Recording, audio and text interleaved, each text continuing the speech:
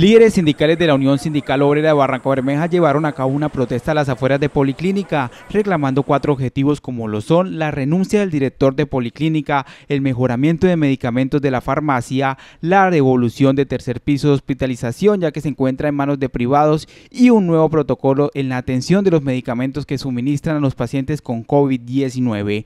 Freddy Pulecio, dirigente sindical, se refirió a la protesta que se están realizando en el día de hoy. Nosotros tenemos aquí varios objetivos. Uno, que se vaya a Baristo porque ese señor le ha hecho mucho daño a la, policlínica. Le mintió al sindicato diciéndole, ah, desocúpenme el piso tercero, que lo vamos a adecuar porque está muy mal estado. Y cuando ya lo adecuamos, se lo devolvemos. Devolverlo, se lo entregó a privados.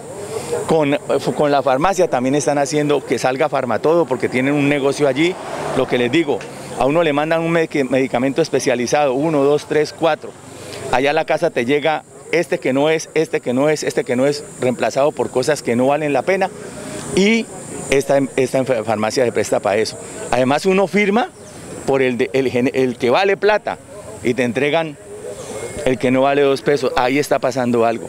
Ramón Rangel, miembro del Comité para la Defensa de la Salud y de Ecopetrol, se refirió frente a la privatización del piso hospitalario de este centro de salud. El tercer piso de la zona hospitalaria a una empresa contratista y las demás labores en la policlínica y en la zona hospitalaria vienen siendo entregadas al capital privado y a empresas contratistas y eso nos está inquietando mucho porque la ola privatizadora se quiere tomar completamente a la zona hospitalaria y la policlínica. Los dirigentes sindicales esperan una pronta respuesta por esta petición que llevan a cabo en el día de hoy. Se espera que esta jornada de protesta se lleve a cabo con total responsabilidad usando los elementos de bioseguridad y el distanciamiento social.